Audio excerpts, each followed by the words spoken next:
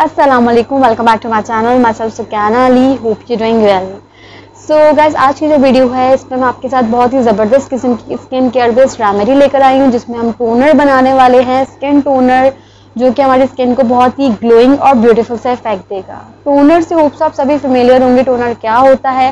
But in case जिनको नहीं पता, उनको मैं थोड़ा बताती चलूँ। टोनर जो होता है, वो एक सोल्यूशन टाइप होता है। ये बेसिकली वो नेक्स्ट स्टेप होता है, जो कि क्लेंजिंग के बाद आप अप्लाई करते हैं। आइधर आपने अपना फेस सोप के थ्रू वॉश किया है, किसी पर्टिकुलर फेस वॉश से वॉश किया है, या कोई क्लिनजिंग क्रीम अप्लाई की इससे क्लिनजिंग की, उसके बाद जो नेक्स्ट स्टेप अप्लाई किया जाएगा, वो टोनर का होगा।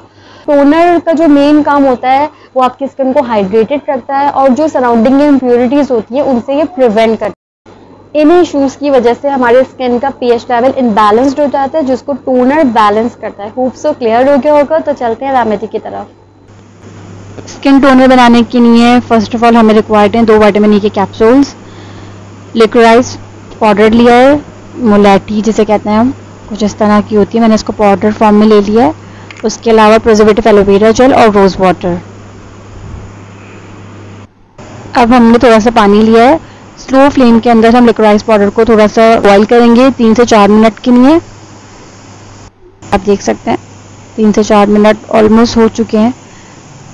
मैं जो है इसे सीफ की हेल्प से ड्रेन कर लूँगी। इसके अंदर अब हम ऐड करेंगे हाफ़ टेबल स्पून के around preservative aloe vera gel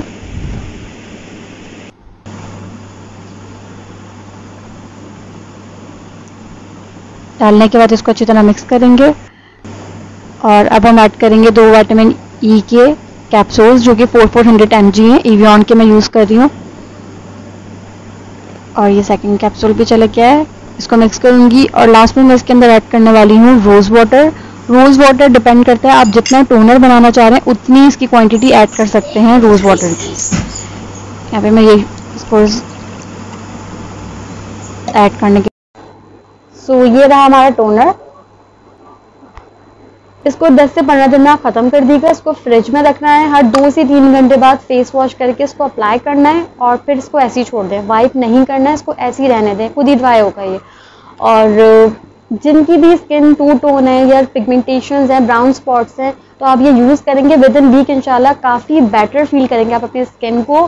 try and tested है ऑफ़ कोर्स सो वीडियो पसंद आई तो लाइक कर दीजिएगा। चैनल पे फ़र्स्ट टाइम आए तो इसे सब्सक्राइब कर दीजिएगा। बेल नोटिफिकेशन को प्रेस करना बिल्कुल मत भूलेगा ताकि मेरी वीडियोस की जो न्यू अपडेट्स हो, उसकी नोटिफिकेशन सबसे पहले आप तक पहुँच सके। अपना बहुत सारा ख्याल रखिएगा। फिर मिलती हूँ नेक्स्ट वीडियो के साथ। Till then खुदाफिज़।